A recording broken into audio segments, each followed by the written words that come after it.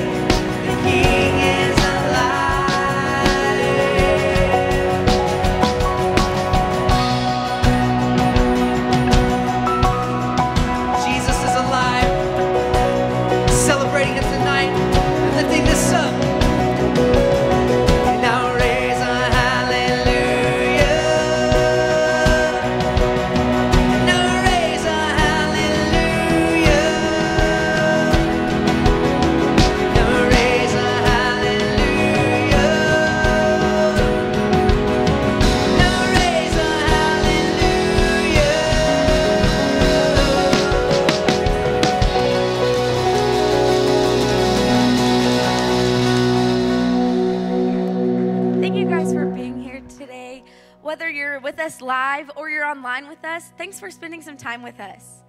If you're live, you probably received a communion cup as you walked in.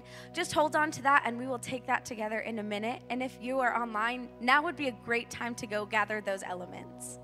If you're live, would you guys turn to those around you, say hey, and then we'll continue in singing.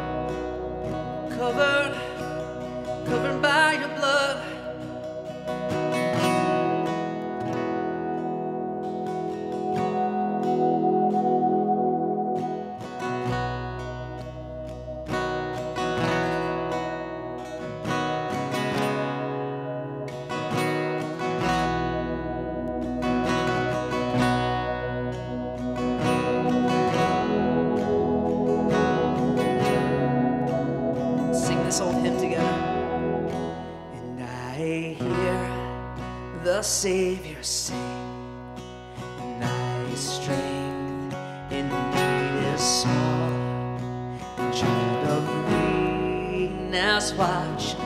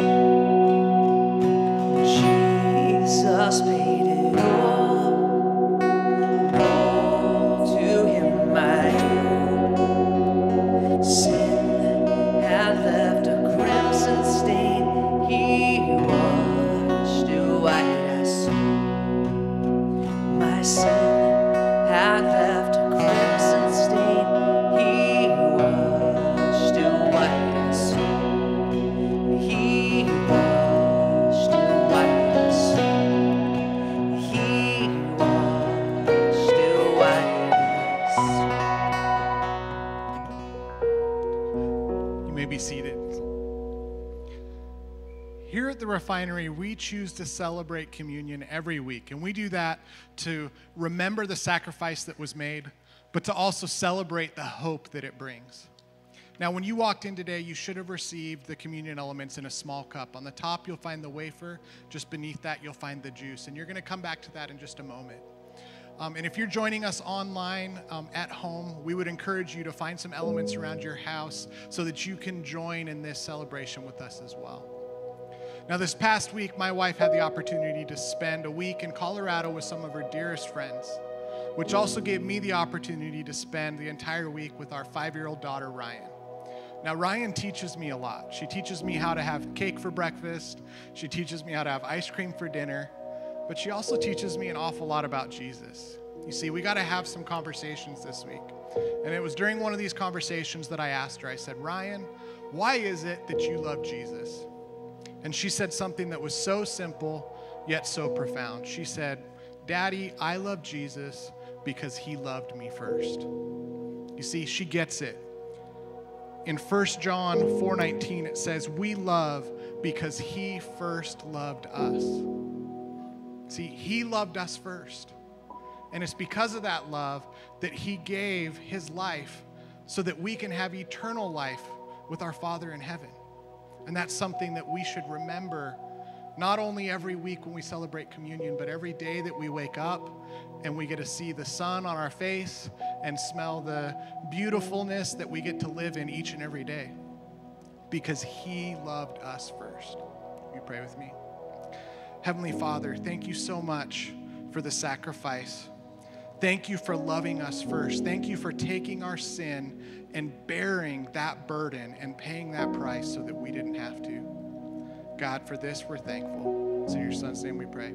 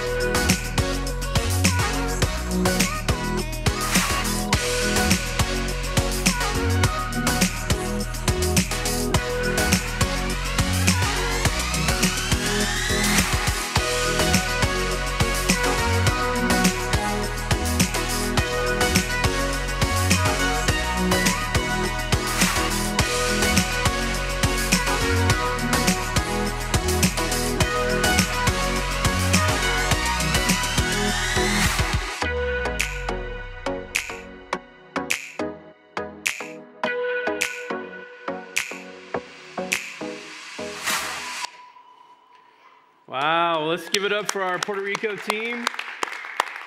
Uh, anybody here that was on that trip? All right, yeah, all right. There's someone. That, where's Joe? You're back here. There you are. Sorry, the line, the lights are blinding me, bro. Hey, we had an amazing time in Puerto Rico, an incredible time. But I got to tell you, the two things that really stand out from that video was that amazing backflip from Kenny. Can we just? That was amazing. And then the dinosaur that we caught on video. That iguana was. It, it doesn't really show you how big it was. It was absolutely crazy huge. But this trip was really great because we had 21 of us that went, myself included. Most of uh, the team were first time uh, missionary folks and never gone on a mission trip, uh, never left the country. Now, technically, Puerto Rico is, you know, it's, it's a territory, but it's still kind of like leaving the country because the food's different. Most people speak Spanish, and it's a little crazy driving on the roads. It's almost as bad as the I 10. Uh, not quite. But we had this amazing time there, and what was great was being able to pour into people like Mel and his wife Maria. Um, Maribel, who's the lady at the end, we built some picnic tables for her. Um, this is my third trip there, and I had heard her mention in 2018 that she wishes she had uh, picnic tables. So when she had teams over, and so we did that. We built those tables. Well, she is kind of like the Mother Teresa of Puerto Rico. She's the she's the one that knows all the people and knows their needs, and she knew of Melvin and Maria. Uh, Melvin and his wife feed the homeless, and yet they themselves are kind of homeless. They have shelter, but Hurricane Maria kind of did a lot of damage to their home. But he would still go and feed the homeless. And so, in Maria's mind, like helping him was really like helping hundreds or maybe even thousands of people. You know, and so that's just the, the awesome uh, mind and heart of Maribel. So we just had an incredible trip. And I'll tell you guys, if you've never been on a mission trip, if you are stagnant in your faith and you maybe you've just been holding out, you don't want to, you just don't want to leave the country. I don't know, whatever it is that's holding you back, I want to encourage you. Go on a mission trip. There's, there's an, the next trip that we are going on is November, November 4th through 7th. We're going to Mexico for a home build. And that's an absolutely amazing thing to be able to help someone who doesn't have shelter and to be able to leave them with keys to their own home. And so you can participate in that. Want to tell you. So uh, hopefully you'll do that, and, and I hope that the people Puerto, uh, the, from the Puerto Rico trip will forever be uh, hanging out and doing stuff together. It seems that way. We, we've kind of become family. So, anyway, thank you so much for being here today. And for those of you that are watching online, we just want to welcome you. Can we just give it up for our people watching online today? We're so glad that you're here with us. And so, as we continue our series, uh, Stories That Tell the Story, today we come across a character of the Bible that's just frankly easy to hate. Uh, he's one of the worst villains of the Bible. And if you were to think of villains of the Bible, something like Disney villains, uh, I would say he, our character today was a lot like Jafar. Anybody remember Aladdin? Yeah, Jafar. That's, that's literally the villain we're talking about today. Because, like Jafar, our character today was the right hand man and counsel to the king, and basically was second in command of a large and powerful nation. And like Jafar, and there he is over there on the right, like Jafar, he was smug, entitled, self absorbed, and ruthless in maintaining his power. Uh, he, he just kept it at all costs, regardless of the people that he had to crush uh, to, to maintain it. So, who is our character today? Well, our character is this Joker right here, Haman which we heard last week. So today we're going to dive deep into scripture and into the story of Haman, of who he was, why he was the way he was, and most importantly, how are we going to deal with the Hamans that we come across in life? Because let's face it, uh, there are people that we run across every day that are kind of like Disney villains. And maybe if that helps you like cope with work, you can like think of your boss as a Disney villain. I don't know. But there's always someone out there that's bent towards evil, the whatever they have to do to stay on top. But the story of Esther and, and the demise of Haman teaches us a valuable lesson on dealing with narcissists that we all need to hear. And if there are any narcissists in here today, you probably will think this message is about you, and you'd be correct. You'd be correct. Uh, but in all seriousness, narcissism, it's an issue that impacts our families, uh, our workplace, and our world. And, and not only just that, but I just feel like in recent times, we've just become so self absorbed as a people. I think back of like, if you look at the history of music, like go back a couple hundred years ago, all the music was about God, unless you're in like the bar, the bar scene, right? But like, it, all the songs were about Him. And then it shifted somehow in the 20th century to us singing about our loved one, and then now all we do is sing about ourselves. Just listen to the radio. It's just all about, you know, all the stuff we do. And, and somehow we've just become this self absorbed people. And you know, what I love about God's word is if you keep reading it and you go through it, topics come up. Like God addresses certain topics if you just listen to God's word. And today, I love this that as we go through the story of Esther, we're going to hear from God's word how to deal with very difficult people. And, and really, not just people who annoy us, but dangerous people. And Haman's one of those people. And, and, undoubtedly, you've probably had to deal with someone dangerous in your life. Now, it could even have been a mom or a dad when you were a kid. Uh, it could have been a boss or a coworker.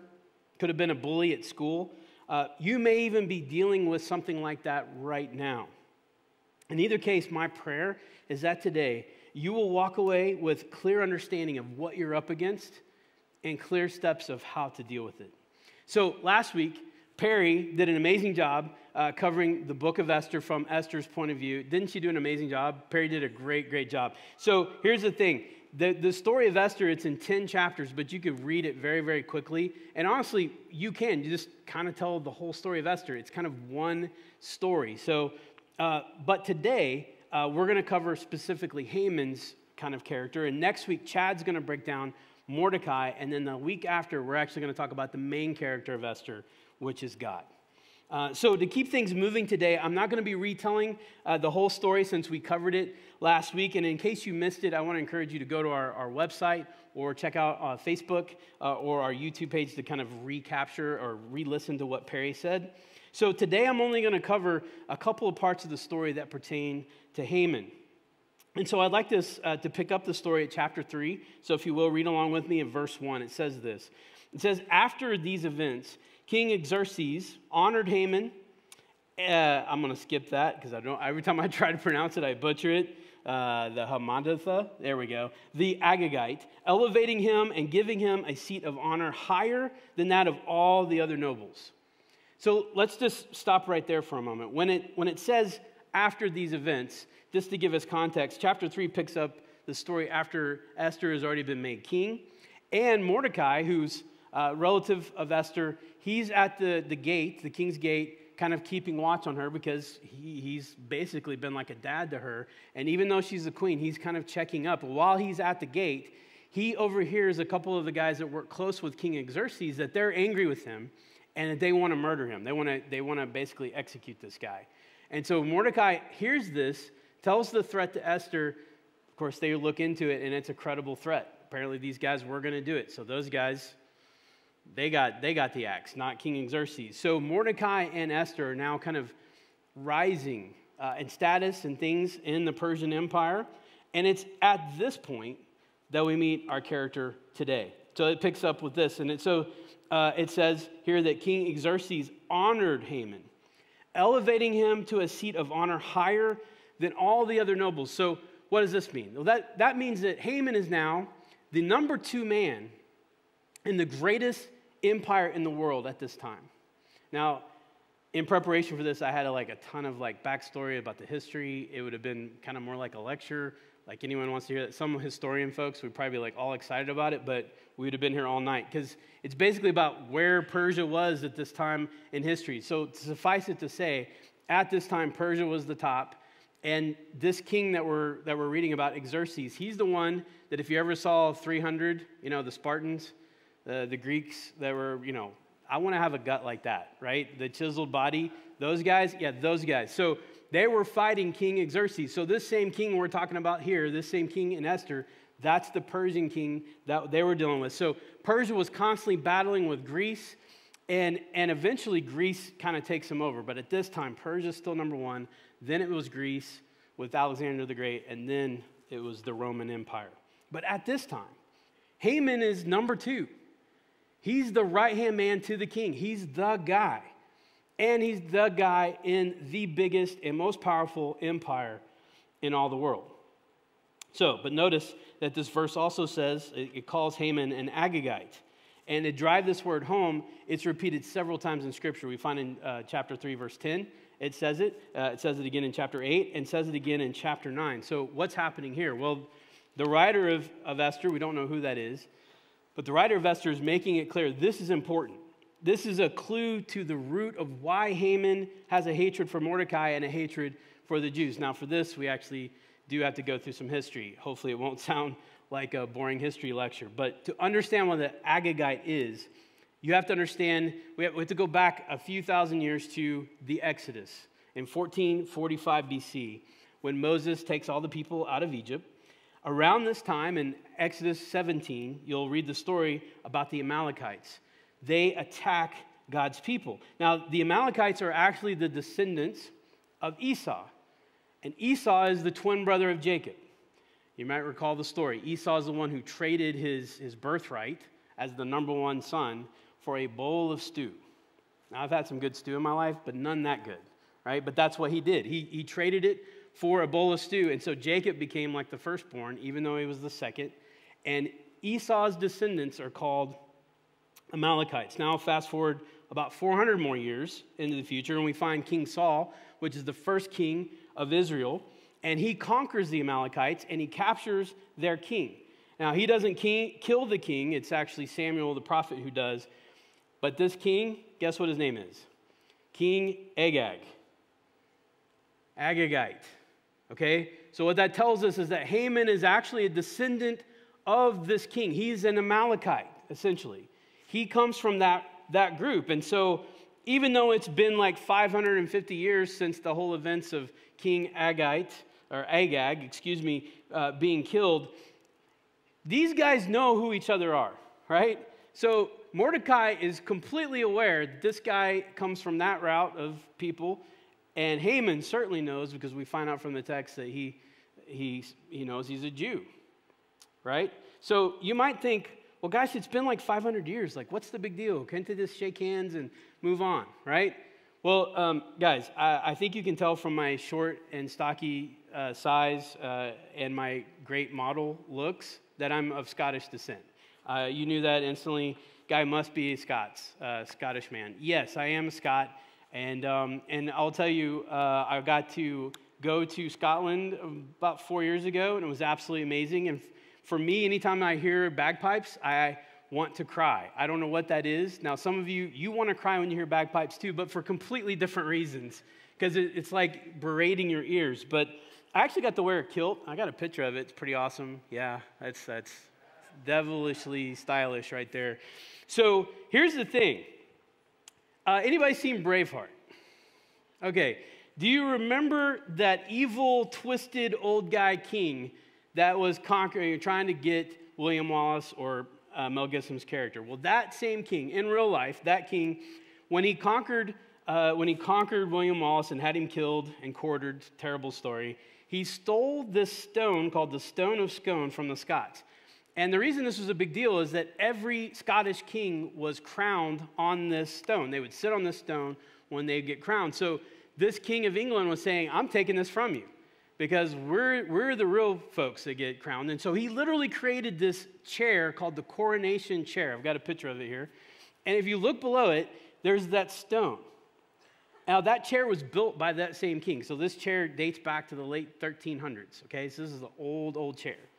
And that stone has been in there for every monarch that's been crowned king or queen. So when Queen Elizabeth was became queen, that stone was there. Until 700 years later, Christmas Day 1950, a group of probably drunk Scotsmen break into Westminster Abbey and they steal the stone of scone. They steal it from, they take it from outside of the coronation chair and they take it back to Scotland. Of course, England's freaking out. They got to the point where they're like, look, if you did it, if you just come forward and give us the stone back, we won't press charges. Uh, there's, uh, I think, a whole movie about this. I haven't seen it, but um, anyway, what was really cool for me as a Scotsman was knowing that in 1996, Queen Elizabeth gave the stone back to Scotland. And so when I went to Edinburgh Castle, I saw the stone of Scone on Scottish soil. And when I went to Westminster Abbey, let me show you how the chair looks now. There's no stone there. Now, with the promise that it would be back, so whenever Queen Elizabeth is gone and we have a new, or they have a new king, uh, that stone will be back. Here's the deal, guys. If people are that upset about a stone, right?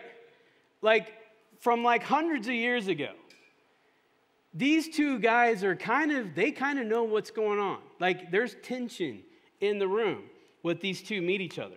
Doesn't matter how many hundreds of years. We all know our heritage. We all know where we come from, and we instantly start sizing up other people. Well, let's let's continue in verse 2. It says all the royal officials at the king's gate knelt down and paid honor to Haman. For the king had commanded this concerning him.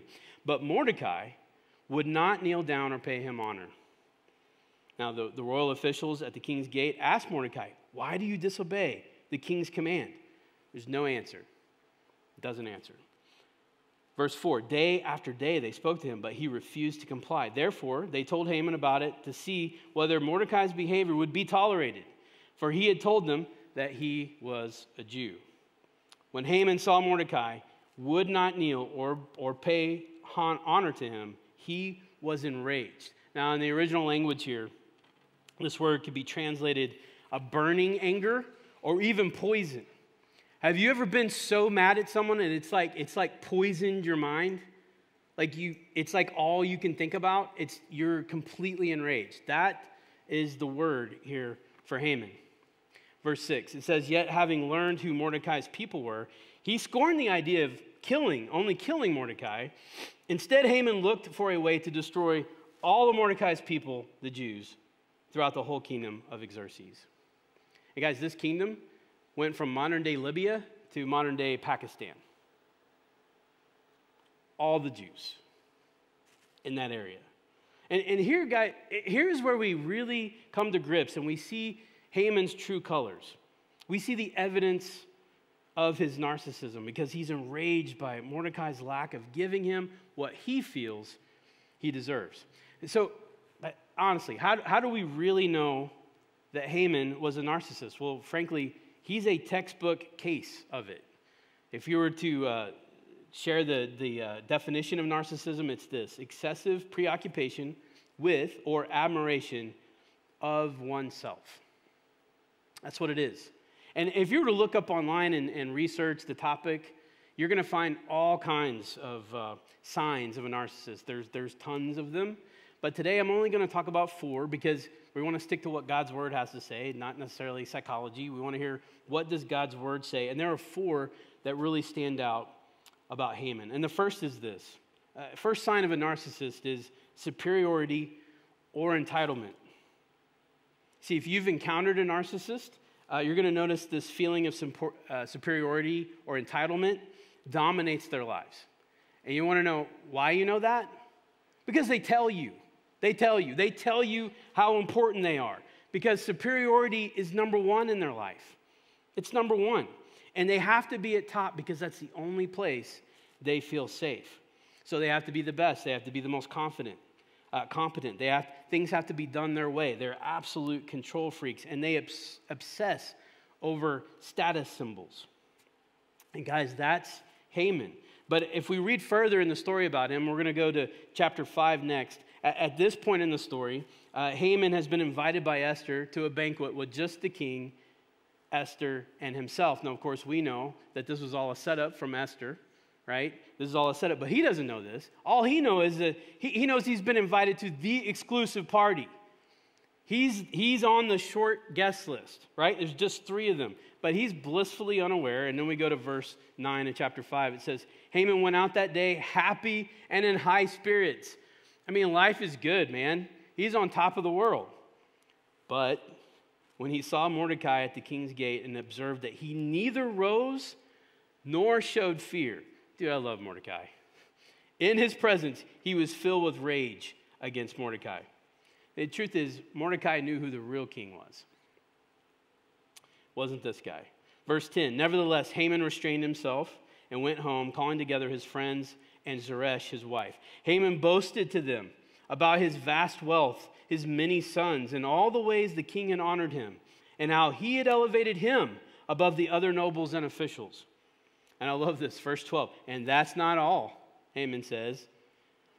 I'm the only person Queen Esther has invited to accompany the king to the banquet she gave, and she has invited me along with the king tomorrow. In other words, I had this awesome thing I was at yesterday. Guess what? I'm going a second time. Are you guys going? No, you're not. It's just me. But verse 13, but all this gives me no satisfaction as long as I see that Jew, Mordecai, sitting at the king's gate. Man, this guy, right? Second sign of a narcissist they make everything about them because of their exaggerated need for attention and validation. They absolutely love talking about themselves. Um, Susan Heitler, a, a, clinical psychologist, says it this way Narcissistic functioning at core, at its core, is a disorder of listening. Because when you're talking to a narcissist, they're not really listening, they're waiting for a time to talk about themselves. You ever seen that? It's like you're talking and they're just like, they're glassed over until they get to talk about themselves. Now, we, we might do this from time to time, you know, because we're excited about something, but a narcissist will take it to the next level because they might ask you how your day is, but they're not really, they don't really care. They don't care about your day. That's just a tool to start the conversation so they can steer it right back to themselves. And they will interrupt the flow of things and kind of change, steer the conversation to be back towards them, change the subject to be about them. And they'll get angry with you if you assert any of your opinion because it's just their opinion that matters. And, and, of course, this is why they have a habit of giving unsolicited advice because they're an expert at everything. That's what Haman does here. He, he couldn't wait to get everyone together to just brag about himself. Number three, a narcissist believes they're special or unique. Notice how Haman brags about the exclusivity of this party that he's going to, and because only someone as awesome as him would be able to, to go to something like this.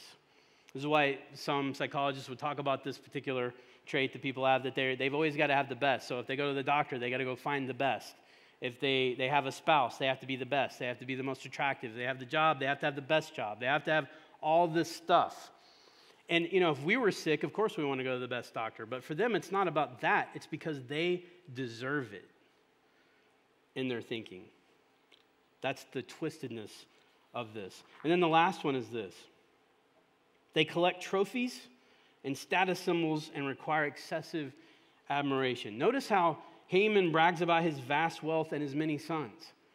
Now, as parents, we like to brag about our kids. But a narcissist takes it to the next level because it's not really about their kids, it's about the status they bring. You know, my kid did this or my kid did that because it reflects on them. They make everything to be a trophy. So they have a tendency to be preoccupied with people and they feel very shocked if you don't respond. Like, you know, don't you see my awesome house? Don't you like my awesome one of a kind watch and aren't you impressed by my car that I drive and the position that I have? But listen, Mordecai, he didn't, right? And that's what drove him nuts. Because you see, narcissists will love you as long as you're idealizing them. If you're idolizing them, dude, they're lovely to you, they'll shower you with whatever until you assert yourself. You start thinking for yourself, thinking things differently. That's when the true colors come out. And that's what happens here. But Mordecai didn't do that. And Haman, his knee jerk reaction was to go straight to murder. Because here's the deal even though Haman had achieved everything, he was still obsessed with the one thing he didn't have, and that was Mordecai's acknowledgement of his glory. And that is the absolute proof that Haman is what we're talking about. Because Mordecai did not give him credit, he wanted the credit and he wouldn't give it to him. So, guys, this is a Haman's a dangerous person. It's it's kind of like gone beyond like narcissism, probably to like say, you know, he's a he's a he's a uh, what do we call it? Sorry, my mind went blank. Um, someone who's psychotic or um, uh, oh my gosh, this is why I write stuff down gracious, he's a dangerous person, right? So I don't know what level of danger you've experienced with this. You, you may not have encountered like a, a mass murderer like Haman, but undoubtedly you've run across people that are absolutely self absorbed. And so today I want us to kind of list out six things you can do um, to counteract this. Um, and, and with these, these are straight from the Bible, straight from what Mordecai and Esther did to deal with this. So, how do you deal with a narcissist? Well, number one is this like Mordecai, we should not bow to the self absorbed. Don't bow to them. Now, today we don't bow. We don't really have a culture of bowing to people. But here's what we do do we, we accommodate them.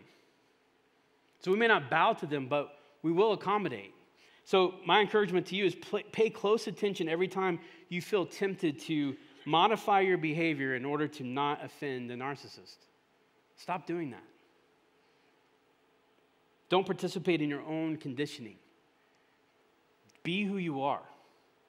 Be who you are. And listen, social media, oh my gosh, this stuff's rampant, right? Everybody's showing off their latest, whatever. Listen, learn how to unfollow, block, and mute.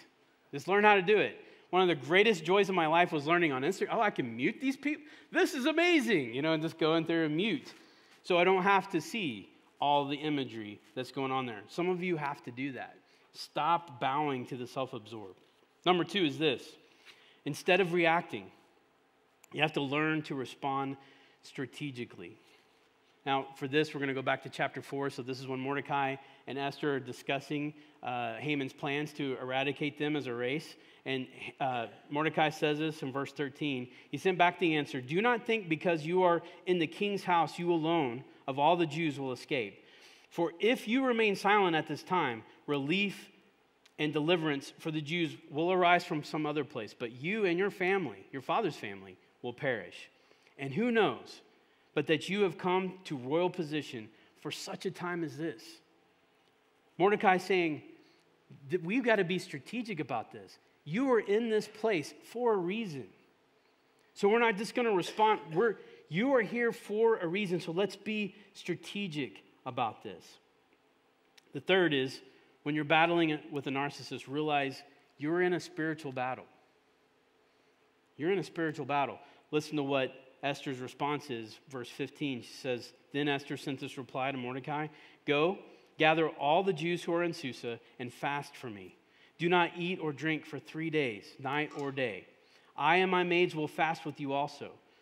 When this is done, I will go to the king, even though it's against the law, and if I perish, I perish. So Mordecai went away and carried out all of Esther's instructions. You see, Esther knew what we know from the New Testament that we wrestle not against flesh and blood. When we're dealing with people like this, this is a spiritual battle. And there were way more characters involved than Haman, Xerxes, Mordecai, and Esther. Way more, and many of which that we couldn't even see. Because this is a spiritual battle. This is larger than just those players. And, and here's, here's what she suggests, and this is number four counterattack with a three day fast. Do a three day fast. If you're in the midst of something like this, like with some difficult person, and you're wondering what to do, do a three day fast. Do it. Because, you know, think about it, I'm, I'm reminded of this verse where Jesus was with his disciples, and his disciples tried to drive out a demon, and they were unable to do it. Remember that? And they came over to him, and they're like, Why can't we do it? Jesus said, This one comes out by prayer and fasting. Now, I'm, I'm not saying if you're dealing with a narcissist, you're dealing with a demon per se, but you are dealing with something demonic, something evil. And then this, number five, get others to pray or fast with you. Guys, the, the battle is bigger than yourself. So gather a prayer army. If you act in isolation, you're only going to fall prey to the narcissist. You, you don't want to be alone because that's, that's literally what they will try to do. They'll make you think you're the one who's crazy. You're the one with whatever. You're the one with all the problems. And you can start to feel alone and isolated. Listen, build your prayer team because being alone or feeling alone is a tool that the enemy uses. You are not alone. I honestly don't know how people make it in life without being a part of a church. I mean, if, if your support group is just you and your spouse, or if your support group is just you and a friend, how do you make it in life? Honestly, you need to have a community. You need to have a people that are with you and, and in the battle with you. And so that's what she does. It's a spiritual battle. They go into a three day fast, but it wasn't just Mordecai and Esther doing this, it was every Jew from Libya, modern day Libya, to Pakistan. And then the last one is this, and guys, this is very important. Trust God for the outcome. We got to trust Him. We got to trust Him. If we can come up with a strategy and realize this is a spiritual battle and do all the fasting, that's great. But this has got to be in God's hands, so we have to trust Him. Guys, there's some verses that, that come to mind. I want to share these very quickly because um, I think they speak to this. Psalm 147 6 says this The Lord sustains the humble, but casts the wicked to the ground. It's God that sustains you. If you're in a battle right now, He's the one who sustains you. In the fight, He's the one who's with you. Matthew 23, verse 12 says this For whoever exalts himself will be humbled, and whoever humbles himself will be exalted. You see, God is the one that lifts people up. Luke 152 says this He, he has brought down rulers from their thrones, but has lifted up the humble. What does that mean? He, he also brings people down. God is the one in control of these things. And then these last two verses, really kind of the same. Uh, James 4.10 says, Humble yourselves before the Lord, and he will lift you up. And 1 Peter 5 6, humble yourselves therefore under God's mighty hand, that he may lift you up in due time. See, it may take some time, but it will happen. You see the pattern? We've got to trust him. Trust him. Now, we, we all know how the story ends with Esther. Again, Perry covered it last week. Haman sets up these gallows to kill Mordecai, and it's on those very gallows that Haman dies. His whole plan was completely foiled. And you just look back at Esther, the book of Esther, and you see this hand of God, right? Um, It's, it's as though God literally thunders through the book of Esther. But do you realize God's never mentioned? Never once. There's only two books in the Bible where that's the case it's this one and the Song of Solomon. But he is ever present. There's, there's not a miracle listed in the book of Esther, but the whole thing is a miracle. Guys, can I just challenge you? That's your life and my life. Our lives are marked by God, especially for those of us who trust Him.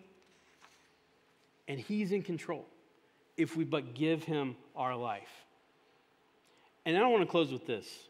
Um, this is kind of serious, but I'm going to hopefully make it not too serious.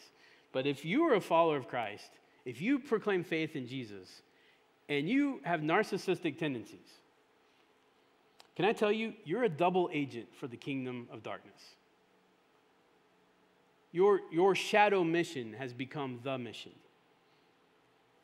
And it's causing irreparable damage to churches, to families, individuals, and the reputation of Jesus. So if that's you, my challenge, my hope is that you'll listen and repent and turn from those. I started this message with a Disney villain, Jafar. I'm going to end with uh, another Disney character. It's Kuzco. Anybody? Emperor's New Groove? Love that movie. Kuzco, Kuzco, Kuzco. All right, so here's the thing about Kuzco. This dude's like Haman, honestly. He is a self absorbed, absolute narcissist.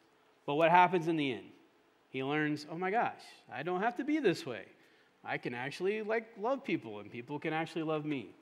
Now, listen, um, real change, real life change doesn't come from Disney magic, as much as you may have been told, uh, but rather the working power of the Holy Spirit to transform your life. So, listen, if that's you, please give that over to God. And if you're wrestling with something right now or wrestling with someone who's difficult, give that over to Him as well. Let's pray together. Jesus, thank you so much for your word. I thank you so much for Esther, for Mordecai, and God, just the guidance that they give us of how to deal with someone like Haman. For anybody in this room that's wrestling with someone who's difficult, or potentially dangerous, pray, Jesus, that you would show them, uh, Lord, to be strategic about it, not react in emotion, but be strategic, to know it's a spiritual battle, to fast and pray, to gather a group of people to pray with them, and to distrust you for the outcome. Lord, it's in Jesus' name we pray. Amen. Thank you, Dave, for your word today.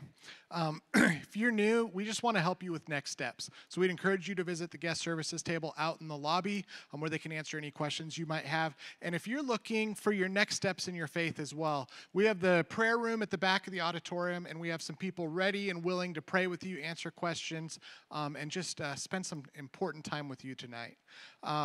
Couple of uh, uh, important announcements. Uh, speaking of next steps, one of our biggest next steps here at the refinery is the step of serving. And while we have many opportunities on the weekend for you to do that, we have a very special one coming up June 7th through the 10th. It's Vacation Bible School. It's in person here on our campus, and we have over 100 kids already signed up. Um, if your kids aren't signed up, do that now because it's filling up quickly. But more importantly, we need you to sign up to help us make that week absolutely incredible. So on the back of your chairs in front of you, you'll find a QR code that you can scan um, and find that along with all of our other announcements.